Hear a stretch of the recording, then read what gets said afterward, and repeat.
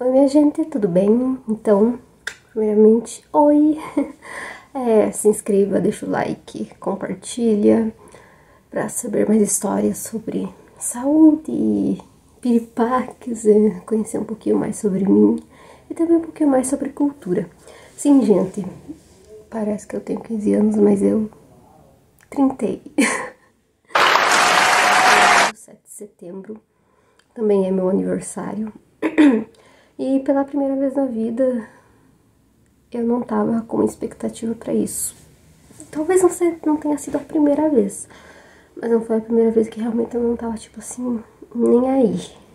Porque, como eu já expliquei, estou com depressão profunda, tô melhorando, porém, bateu, sabe, a bad, como falam, e não é pela idade.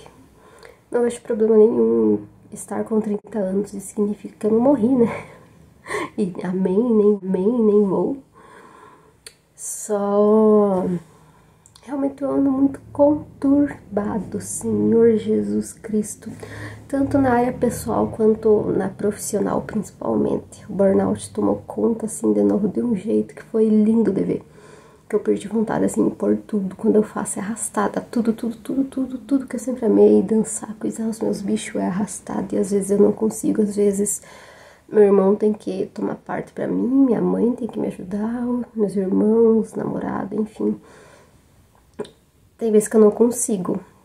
Tô me recuperando hoje do ambiente tóxico, porém o meu trintou. Eu não tava com ânimo, ainda mais que era 7 de setembro e eu sempre amei desfile, daí tava chovendo e teve desfile com chuva mesmo assim. Foi a primeira vez que eu vi isso na minha vida também, mas enfim. Obviamente eu não fui, mas eu lembro que eu, mesmo que eu não fosse lá, eu já acordava às 6 horas da manhã, assim, ó. Pra ouvir os tam, ouvindo os tambores, pra ouvir os tambores, e desta vez. Teve outro dia também que eu, tipo, dormi, nem vi tambor nenhum, mas acordei mais animada, outro ano.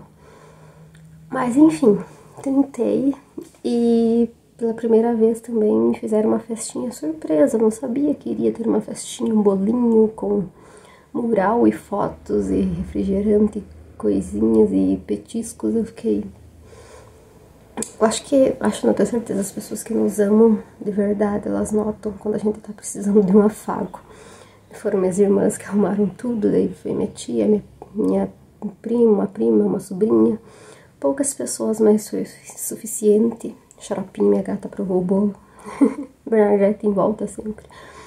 Então, eu fiquei bem feliz. Só daí teve o porém.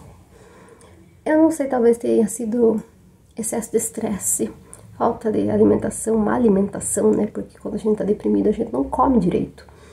Eu não sei o que aconteceu. Eu sei que na numa noite anterior, que eu tô fazendo. tô trabalhando em campanha. não gosto de falar essas coisas aqui no YouTube, mas estou, né? E eu tinha, né, lidado com isso um dia antes e tinha comido um, um miojo que alimenta que tá louco. Tava com uma dor de cabeça lascada. Eu tomei o meu antidepressivo, eu tomei o clonazepam, bromoprida, que é pra enjoo. Tomei daí também um ciclobenzaprina para ver se a dor de cabeça passava tão forte que tava, que é um anti Aliás, o relaxante muscular é muito forte, gente, sim, eu estou rouca, normal isso, de tanto falar. É... Daí eu apaguei, apaguei, dormi, dormido até as 3h45 da tarde, que foram acordar, né, que tava lá o bolo, tudo certinho, bonitinho, que eu vou deixar um videozinho de, de trailer aqui, digamos assim. E com as fotinhos do dia. E daí quando eu acordei, eu acordei já assim, minha irmã Yoane, que só coloquei a roupa, levantei e fui.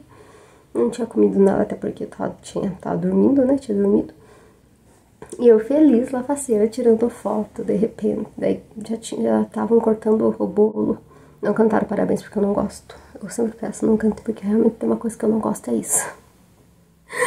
Não acho brega nem nada, me sinto desconfortável, não sei explicar. Nunca quis os parabéns as vezes que me cantaram, fiquei encabulada. E foram poucas. Eu só vi que eu comecei a sentir um calor, só que até então eu pensei, é, é hipoglicemia, vou tomar um refrigerante. Só que foi muito rápido, porque refrigerante tem muito açúcar, né? Sobe rápido, foi muito rápido também a, a, a alternância de estados físicos. Eu já comecei a ter mal-estar, não foi exatamente como da outra vez, foi um jogo um pouco mais leve, mas aí começou a escurecer tudo já. Isso foi escurecendo a vista, eu fui começando a tremer e eu falei, gente, desculpe estragar o momento, mas eu tô empacotando.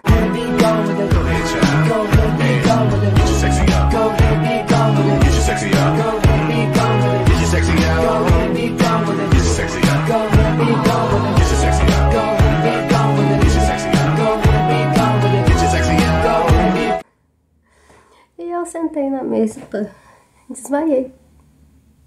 E daí me acudiram, né? Tudo aquela coisa, e álcool, e daí me deram refrigerante também, água com açúcar, daí já bolo quando eu acordei.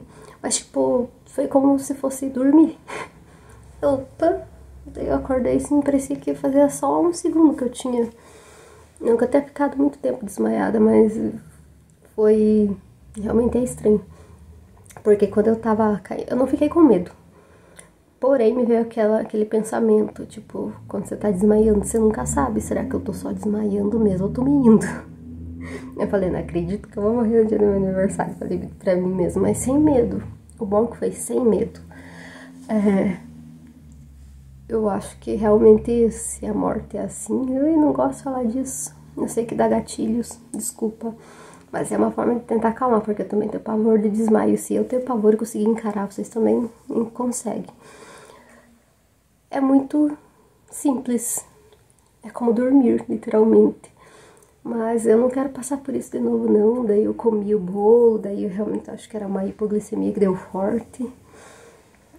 Não aconselho a ficarem sem comer, mesmo deprimidos e ansiosos, gente. É perigoso para a saúde, porque se cai muito a tua taxa de açúcar, você tem um choque, que é quando a pressão cai, fica muito baixa e você morre. Então, tentem se alimentar, não se entupam de remédio com o estômago vazio ou meio, meio, meio caminho, sabe? E foi isso, eu desmaiei, a sensação não foi tão ruim quanto das outras vezes, nem de enjoo, nem de nada, mas eu desmaiei no meu aniversário. Isso acontece comigo como lá no meu trintou, eu desmaiei, é pra né, fechar com chave de ouro. Mas foi isso, galera. Eu venci, depois eu, eu acordei, fui me recuperando, né? Me acudindo, me acalmando. Eu, depois eu levantei, fiquei. Não fiquei bem, mas fingi para os outros que eu estava bem. E foi basicamente isso. Comi mais bolo e foi o resto do dia que eu fiquei mais faceirinha depois meu namorado passou em casa e foi isso, gente. Sobrevivi a mais um desmaio. E essa vida de um burnoutado com síndrome do pânico, depressão, ansiedade, não é fácil para ninguém. Mas eu tô feliz com essa nova fase de 30 anos, tô me sentindo, apesar das minhas condições que me limitam, mais autossuficiente. Apesar de estar sem um emprego agora, mais autossuficiente. Porque se tem uma coisa que a gente aprende é que nada é para sempre. Se o que é bom não é para sempre, porque o que é ruim vai ser também. Então é isso, só o meu relato do meu aniversário. Vou deixar aqui as fotinhos dele, é isso. Beijinhos, gente. Tchau, tchau. Fiquei bem feliz com homenagem, obrigada. Minhas queridas irmãs. E todo mundo que participou, né? E obrigada a vocês, porque eu sei que eu postei né, nas redes que eu não queria parabéns e vocês respeitaram. Obrigada também minhas amigas que mesmo, aliás, uma amiga que mesmo e meu namorado que mesmo, eu dizendo não quero parabéns, dizendo, não, eu vou te dar parabéns e pronto, não quero nem saber. Agradeço, mesmo assim, porque a gente sabe tanto de um lado quanto do outro, né, quem respeitou e quem mandou a mensagem do mesmo jeito, do mesmo jeito a gente sabe que é porque tem empatia porque respeita e porque ama muito. Beijos a gorda 30. Ainda tirarei fotos quando eu receber.